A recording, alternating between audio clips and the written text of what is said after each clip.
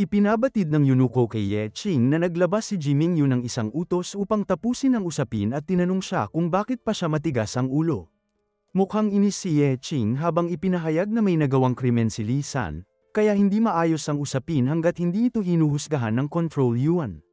Nagulat si Kai Xianggao nang biglang tanungin siya ni Ye Ching tungkol sa unang batas ng Great Zhou na itinatag ng dakilang ninuno.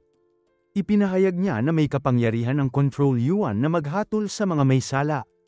Kaya kapag nagpapatupad ang Control Yuan ng hatol, walang sino man ang dapat makahadlang.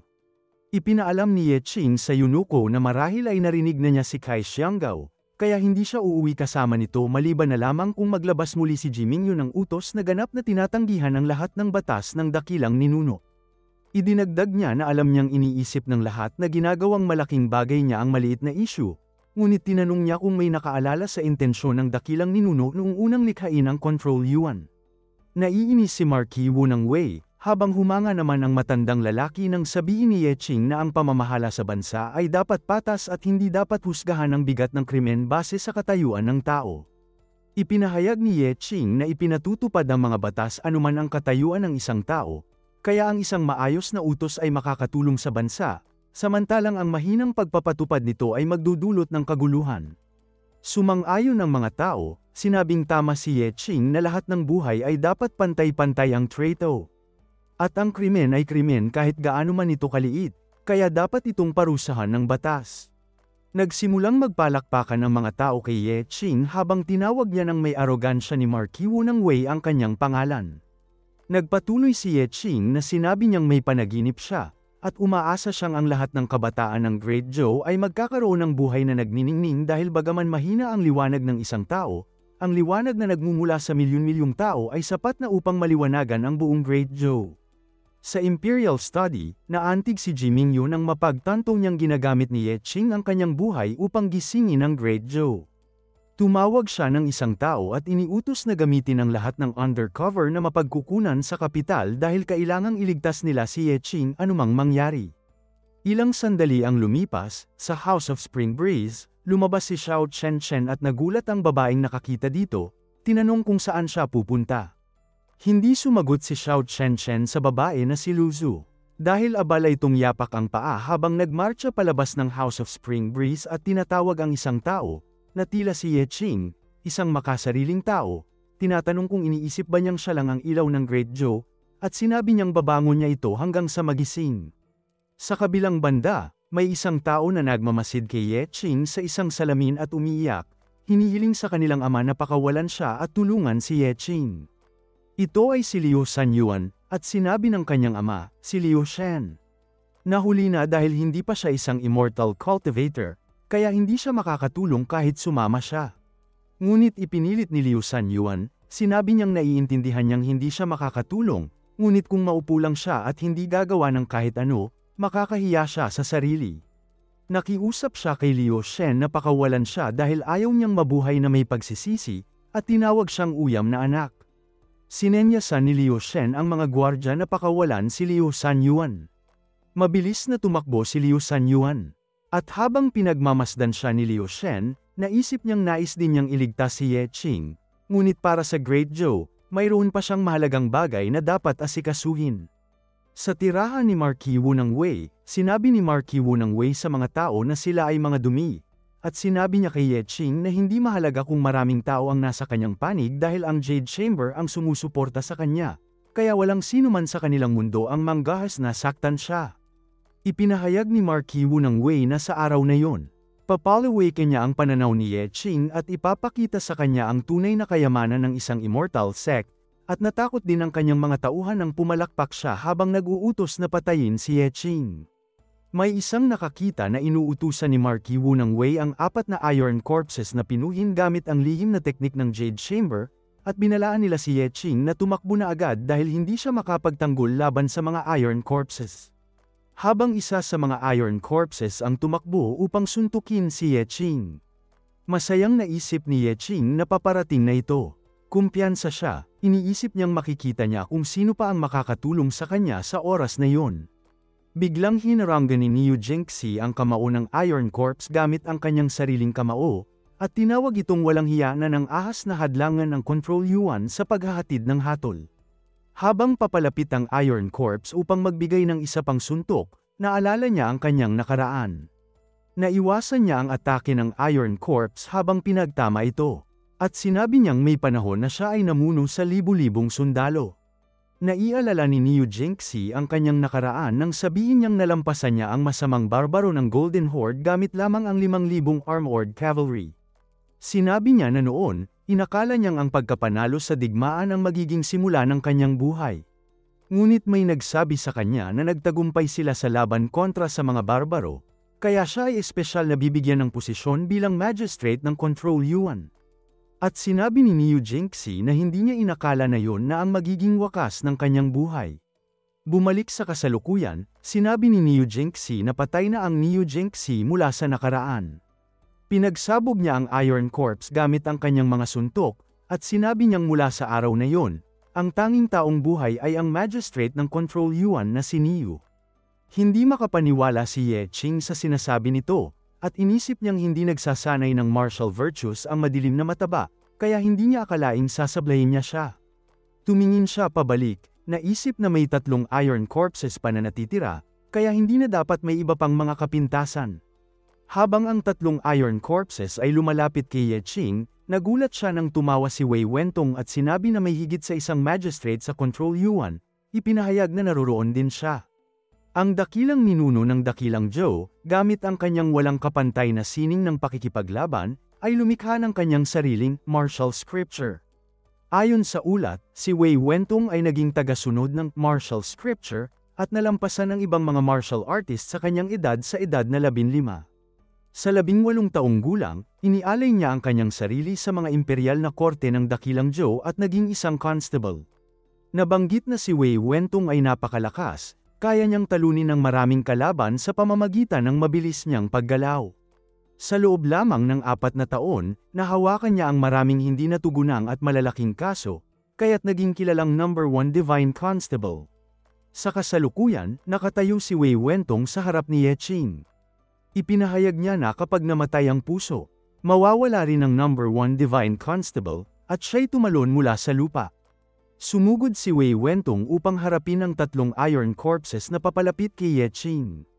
Pinutol niya ang mga ito habang binabanggit na kapag natagpuan muli ang tapang na mabuhay, walang kaaway ang makakahadlang.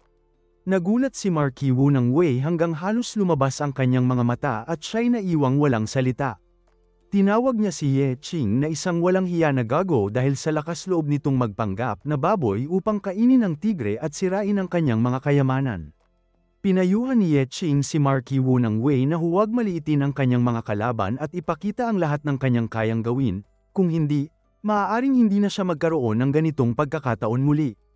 Kinuhang ni Marquis Wu ng Wei ang isang patalim at sinabi kay Ye Qing na mamamatay niya siya. Tinusok niya ang kanyang sariling kamay gamit ang patalim, at biglang nagsimulang bumalat ang isang madilim na aura sa kanya.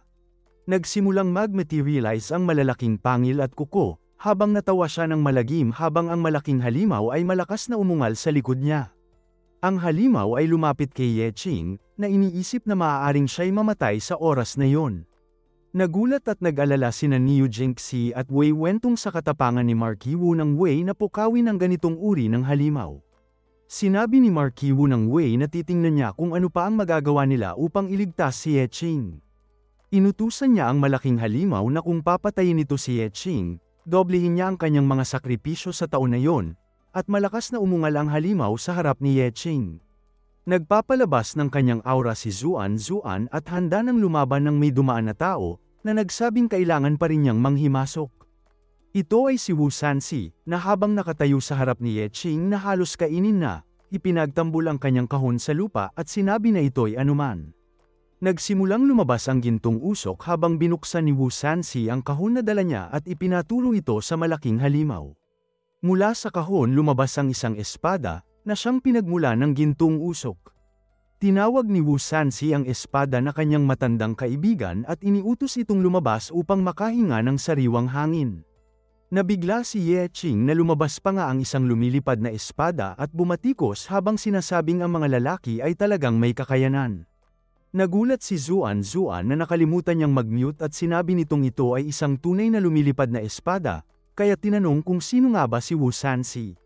Samantala, ninaisip na ang malaking halimaw nang makita nito ang lumilipad na espada sa harapan.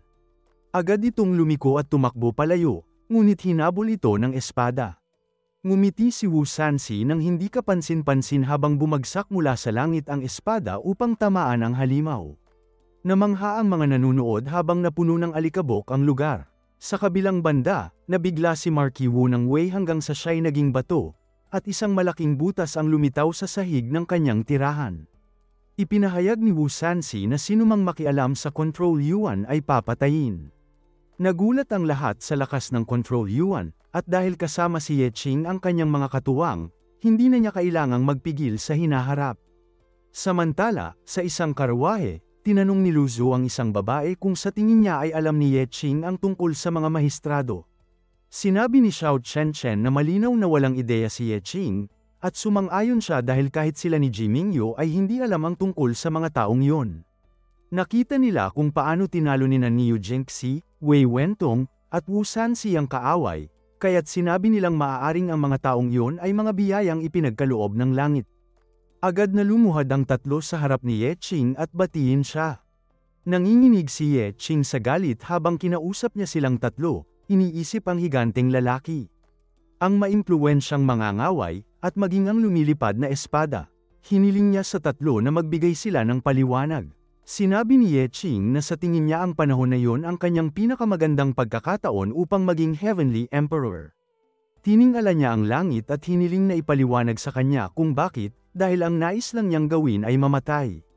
Pinakita ni Ye Qing ang pagkaiinis habang tinatanong kung bakit ito mahirap, at hinampes niya ang kanyang kamay sa kanyang noo nang ipahayag ng tatlong mahistrado sa lahat na sinumang nagnanais na saktan siya ay dapat munang tumapak sa kanilang mga bangkay. Biglang ipinabatid ni Kai Xianggao kay Ye Qing na may naalala siyang isang bagay. Pinakita ni Ye Qing ang kawalan ng interes nang sabihin ni Kai Xianggao na ang tatlong master na iyon ay may napakahusay na mga pinagmulan.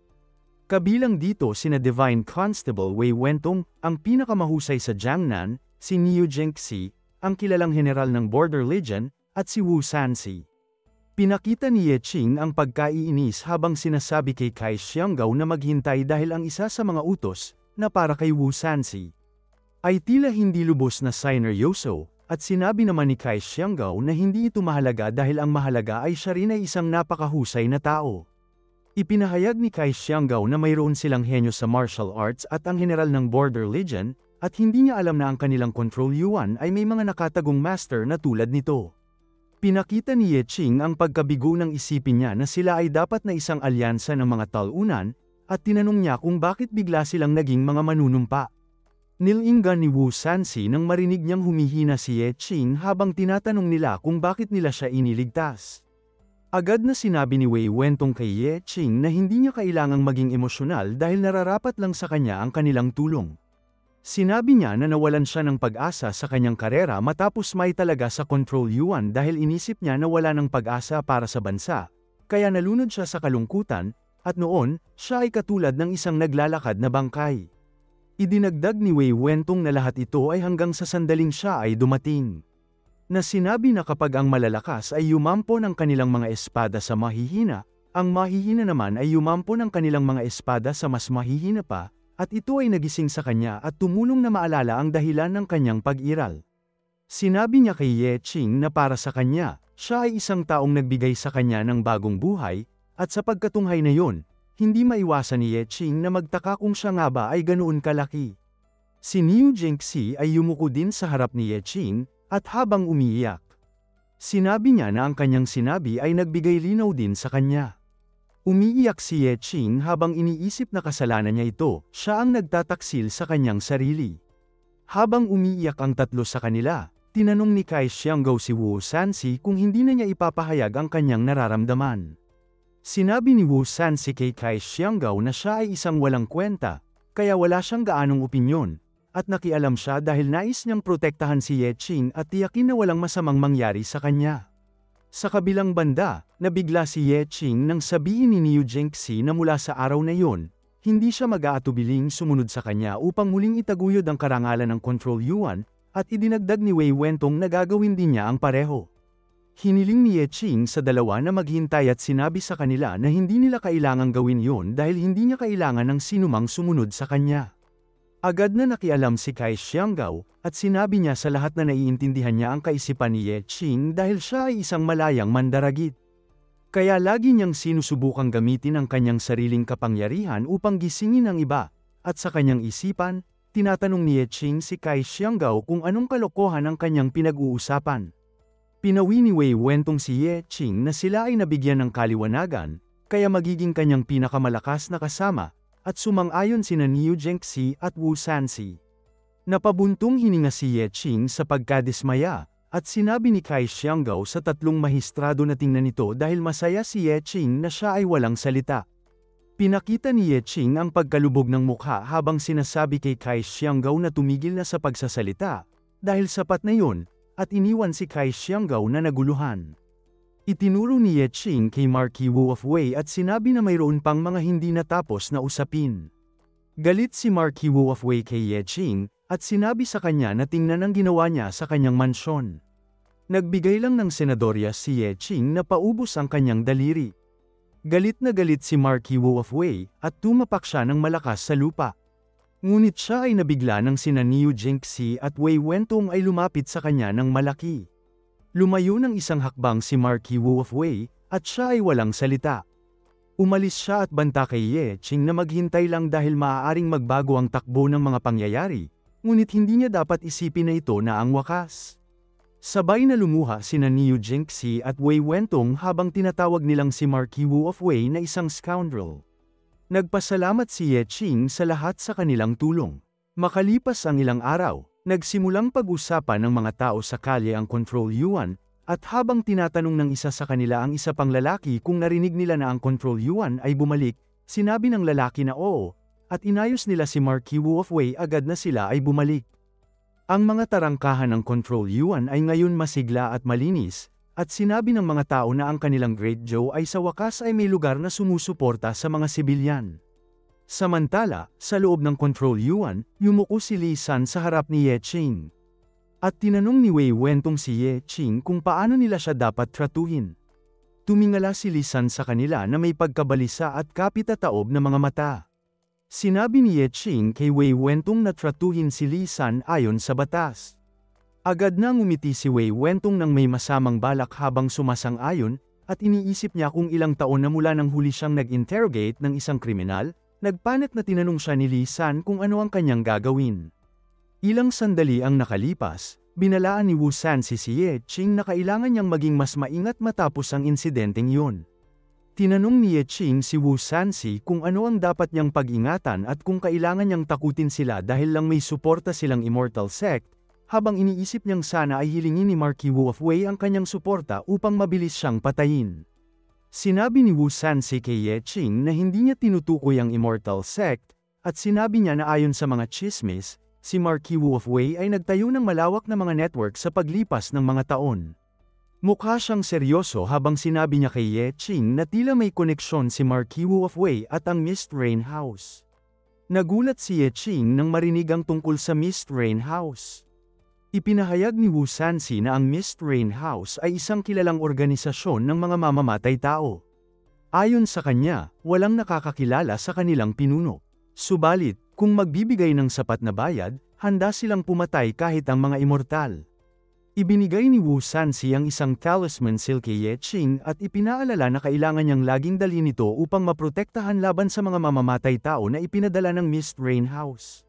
Nagpasalamat si Ye Ching kay Wu Sansi, ngunit sinabi niya na siya ay protektado ng virtuous chi kaya hindi niya ito kailangan. Sa kanyang isip, tinanong niya si Wu Sansi kung nagbibiro ito, dahil ikinagagalak niya kung sakaling dumating ang Mist Rain House upang patayin siya. Ngunit pinilit ni Wu Sansi na tanggapin ni Ye Ching ang talisman at ipinaliwanag na madaling makaiwas sa sibat sa maliwanag na lugar ngunit mahirap sa dilim, na ikinagulat ni Ye Ching. Tinanggap ni Ye Ching ang payo ni Wu Sansi na sa kanilang mundo ay maraming paraan upang saktan ang isang tao. Kaya bagaman wala siyang intensyon na manakit, kailangan niyang maging mapagmatsyag. Pagkatapos marinig ito, Tinanong ni Ye Qing kung sino talaga si Wu Sansi. Ngumiti si Wu Sansi at sinabi na siya ay isang walang kwenta. Tiningnan ni Ye Qing ang langit at sinabi na tila kulang pa rin ang kanyang kaalaman tungkol sa mundong yon. Ilang sandali pa, may nagsabi na ang great ancestor ng Great Joe ay isang henyo na pinabura ng langit at nagpatibay ng 3,000 taon ng kasikatan at kasaganaan ng Great Joe. Ngunit naiwan siya ng misteryo at hindi alam ang kanyang kapalaran. Napagtanto ng tao na ang mga immortal cultivators ng mundo na iyon ay maaaring mabuhay ng libu-libong taon. Si Ye Qing ang nagbasa nito at sinabi na matapos mawala ang Great Ancestor, wala sa susunod na pitong henerasyon ng mga emperador ang nabuhay ng mahigit sa isandaan at limampung taon. Ipinahayag niya na kakaiba ito dahil malaki ang pinagkaiba ng kanilang mga buhay at nagtatanong kung may nagtatagong gumagawa ng isang bagay. Sinabi ni Ye Qing na ang sunod-sunod na maagang pagkamatay ng mga emperador ay nagdulot ng mabilis na pagbagsak ng tadhana ng Great Joe. Sa mismong sandali, lumitaw ang huling haligi ng Great Joe. Ipinahayag ng lalaki na isang makapangyarihang figure tulad ng Great Ancestor ay hindi basta mawawala, kaya ang tanging paraan upang iligtas ang Great Joe ay hanapin ang Great Ancestor at buhayin ang tadhana nito. Siya ang chief officer na tumulong sa Great Ancestor sa pagpapalayaw ng lupa. Kaya naniniwala siyang hindi mawawala ang Great Ancestor ng walang balita. Upang patatagin ang Great Joe, nagtungo siya upang hanapin ang Great Ancestor ng mag-isa. Sinabi ni Ye Qing na subalit, hindi nakabalik ang chief officer kaya hindi katakataka na ang posisyon ng chief officer sa Control Yuan ay palaging bakante. Habang pinagmamasdan ang tatlong magistrates, sinabi ni Ye Qing na hindi niya malalaman ito kung hindi siya nag-imbestiga. Idinagdag niya na ang Control Yuan ay punong-puno pala ng mga nakatagong eksperto. Samantala, sa silid-aralan ng Imperial Palace, may nagulat na nagtanong tungkol sa mga talento. Ito ay si Ji Mingyu, at sinabi ni Xiao Chen na ito ay dahil sa kanyang kapabayaan, at kung mas naimbestigahan niya ang Control Yuan noon pa man, marahil hindi na naramdaman ng mga talento ang pagkakahiwalay ng ganoon katagal. Mariing hindi sumang-ayon si Ji Mingyu at sinabi kay Xiao Chen na hindi niya maaaring sisihin ito sa kanya dahil bilang emperador, hindi niya napansin na maraming talento ang napaalis. Sinabi ni Xiao Chen kay Ji Mingyu na, sa ibang pananaw, naging matalino ang kanyang desisyon na ipadala si Ye Qing sa Control Yuan. Sumagot si Ji Mingyu na umaasa siyang ganoon. Habang patuloy siyang nagbabasa ng mga dokumento, napansin niyang kakaiba na si Wu Sansi ay isang eksperto na kayang gumamit ng lumilipad na espada, ngunit kakaunti ang impormasyon tungkol sa kanya. Sumang-ayon si Xiao Chen Chen na ito ay kakaiba dahil tila biglang lumitaw ang taong yun, wala siyang pamilya o nakaraan.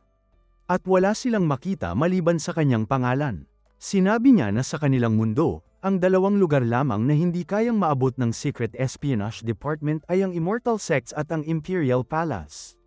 Ipinahayag ni Ji Mingyu na kailangan nilang tuklasin ang pagkakakilanlan ni Wu Sansi, kung hindi, magiging delikado na manatili siya sa tabi ni Ye Qing, at sinabi ni Xiao Chen Chen na nauunawaan niya ito. Sa kabilang banda, sa Control Yuan, dalawang haligi ng liwanag ang tumaas patungo sa langit. Agad na lumapit si Kai Xianggao kay Ye Qing upang ipaalam ang magandang balita na sina Wei Wentong at Niu Jingxi ay nagtagumpay sa kanilang pag-angat. Naging Grandmaster sa martial arts si Wei Wentong at sinabi niyang dahil sa suporta ni Ye Qing, naunawaan niya ang maraming bagay at nakapagtamo ng mataas na antas.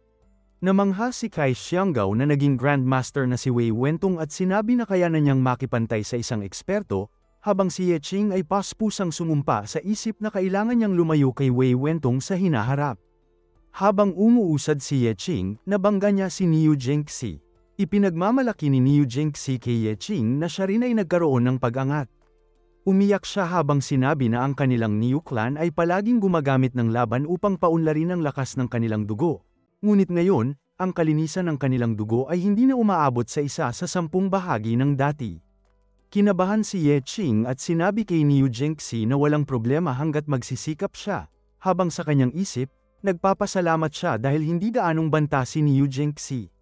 Sinabi ni Niu Jingxi kay Ye Qing na tama siya, at dahil sa kanyang mga salita, nas hindi ang kanyang kompetitibong diwa at naibalik ang tunay na kalinisan ng dugo na natutulog sa kanyang katawan, na nagpahinto sa pananalita ni Ye Qing. Tumawa si Ye Ching at sinabi na sa tingin niya ay lahat ng ito ay mabubuting balita para sa kanilang lahat. Mabilis siyang umatras at sinabi sa lahat na babalik siya upang ipagpatuloy ang kanyang pagbabasa. Natakot si Ye Ching na nagtataka kung ano ang nangyayari. Dahil nasa mahirap na siyang kalagayan at nais pa nilang dagdagan ito, at narinig niyang may nagsabi sa likod niya na dahil lahat ay naging mas malakas, ang kanyang kaligtasan ay nasisiguro. Sinabi ni Wei Wentong na si Marky Wu ng Wei ay isang mapusok na tao, kaya walang pagdududa na babalik siya upang saktan si Ye Ching. Idineklara niya na mula sa araw na yon, hindi na niya iiwanan ang tabi ni Ye Ching. Idinagdag ni Niu Jingxi na gagawin din niya ang pareho. May kumpiyansang hamon si Wu Sansi kay Marky Wu ng Wei na sumugod. Naglakad si Ye Ching kasama si Zuan Zuan sa mga kalye. Ipinahayag nito ang kanyang pagiging alerto sa pagtingin sa likod, nagpapakita ng pagiging maingat sa paligid. Sa palagay ni Zuan Zuan, maaaring nag-aalala siya tungkol sa mga kaaway na sumusunod. Napangiti si Zuan Zuan habang iniisip na hindi naman dapat mag-alala si Ye Ching dahil hindi niya hahayaang masaktan nito. Samantala, nagpasalamat si Ye Ching sa Diyos sa kanyang isipan dahil sa talisman na ibinigay sa kanya ni Wu Sansi na pansamantalang nakapanghikayat sa kanila na huwag siyang sundan. At sinabi niya na tapos na siya sa mga talents mula sa Control Yuan. Nagpunta ang dalawa sa Drunk Immortal House, at naisip ni Ye Ching na ang prioridad sa sandaling yun ay mabilis na makahanap ng lugar na madaling mahanap ng mga asasin upang makaiwas sa abala. Pagpasok nila sa gusali, Hiniling niya sa kanyang isipan na pansinin ng mga asasin ang lugar dahil naroon ang target. Biglang nabulabog siya nang mapansin ang isang bagay. Napatahimik ang lahat sa gusali at nakatingin sa kanya. Agad silang naging maingay, tinatawag ang pangalan ni Ye Ching. Nagtipon ang mga tao sa paligid niya, hinihiling na magkamay at humingi ng autograph. Kinabahan si Ye Ching habang hinihiling na tigilan ng pagtulak at magbigay daan para sa mga tunay na nangangailangan. Ngunit ikinagulat niya nang may nagsabing siya ang dapat hanga ni Ye Ching, at may isa pang tao na humiling din na magbigay daan dahil nais din itong humingi. Nasal ayan ni na Zuan Zuan at Ye Ching na siksik na siksik na ang lugar. Kaya naisip ni Ye Ching na hindi ito magagawa at nagpa siya na kailangan niyang haminin si Marky Wu ng Wei. Bigla, may nag-abot ng speaking device kay Ye Ching at tinanong kung ipagpapatuloy niya ang pakikipaglaban kay Marky Wu ng Wei hanggang sa katapusan. Agad na kinuha ni Yeching ang device mula sa kamay ng lalaki at tumayo sa isang plataporma. Ipinaalam niya sa lahat na hindi siya at si Marky Wu ng Wei ang maglalaban hanggang sa huli. Nakinig ang mga tao ng mabuti habang sinabi ni Yeching na ang Control Yuan at lahat ng masamang puwersa ang maglalaban hanggang sa katapusan. Tinawag ni Yeching si Marky Wu ng Wei at ipinaalam na dapat siyang maghanda dahil simula pa lamang ito. Nagpalakpakan ng mga tao kay Yeching, Ipinapakita ang kanilang paniniwala na hindi na siya mamumuhay sa ilalim ng iisang kalangitan kasama ang masama. Ilang sandali pa, may tumalsik na plorera. Si Marky Wu ng Wei ang nasa likod nito, galit na galit kay Ye Ching at sinabi na hindi na rin siya mamumuhay sa ilalim ng iisang kalangitan. Tinawag niya si Sir Shen. Kinabahan si Sir Shen habang lumalapit at tinanong kung paano siya matutulungan ni Marky Wu ng Wei. Tinitigan siya ng matindi ni Marky Wu ng Wei at inutusan siyang umalis, na nagdulot ng karagdagang kababaan kay Sir Shen kung saan siya dapat pumunta. Sinabi ni Marky Wu ng Wei na hanapin ang isang tiyak na tao, at ilang sandali pa, sa dilim ng gabi, may naglalakad na nakasuot ng kapa. Si Sir Shen ang bumubuo nito at naalala ang utos ni Marky Wu ng Wei na iparating sa tao na nais niyang makuha ang ulo ni Ye Ching kahit anupaman, at kailangan niyang makuha ito sa gabing iyon. Papunta si Sir Shen sa isang payak na kubo. Magalang niyang ipinakilala ang sarili bilang si Shen Sanbayan mula sa mansyon ni Marky Wu ng Wei at sinabi niyang nais makipagkita kay Sir Mu. Biglang, sa nakakatakot na tinig, sinabi ng isang tao kay Shen Sanbayan na siya na naman. Ipinaalam ni Shen Sanbayan sa tinig na ito na utos ito mula sa kanyang amo at hindi niya ito maaaring suwayin. Hiniling ng tinig na pumasok, at nang pumasok si Shen Sanbayan sa silid, Nakita niya ang isang tao na may misteryosong kapa na may maliit na aura na nagbibigay liwanag sa loob. Agad na tinanong ng tao si Shen Sanbayan kung sino ang dapat niyang patayin sa oras na yon. Sinabi ni Shen Sanbayan na ito ay si Ye Ching, ang Imperial Censor ng Control Yuan, at nagulat ang tao nang marinig ang pangalan ni Ye Ching. Ipinaalam ng tao kay Shen Sanbay na kailangan niyang dagdagan ang bayad. Sa kabilang banda, abala si Ye Qing sa kanyang tirahan sa pag-iikot, at sinabi ni Old Huang na siya ay naging magulo mula nang bumalik ito, tinatanong kung ano ang hinahanap nito sa bakuran. Sinabi ni Ye Qing kay Old Huang na wala lang at tinitiyak lamang na hindi siya susundan ng mga talents. Ipinasok niya si Old Huang at pinaalalahanan nitong tandaan ang sinabi niya na kahit ano pa man ang marinig, hindi dapat lumabas. Sinabi rin ni Ye Qing kay Zuan Zuan na dapat din itong gawin ang pareho. Nasal ayan ni Zuan Zuan na binigyan siya ni Ye Qing ng isang bagay at sinabi na hawakan itong maayos at huwag itong mawala.